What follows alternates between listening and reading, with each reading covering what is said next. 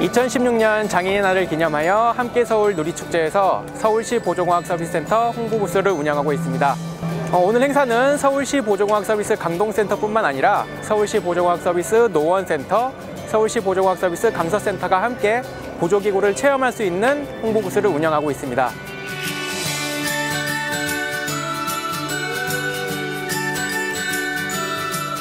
서울시 보조공학 서비스 센터에서 진행하고 있는 보조기구 임대와 맞춤 제작에 대해서 적극적으로 안내를 해드리고 있습니다.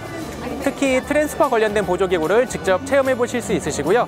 더불어서 팝콘과 캐리커처 같은 이벤트를 준비해서 재미있는 체험 부스 운영이 되도록 진행하고 있습니다.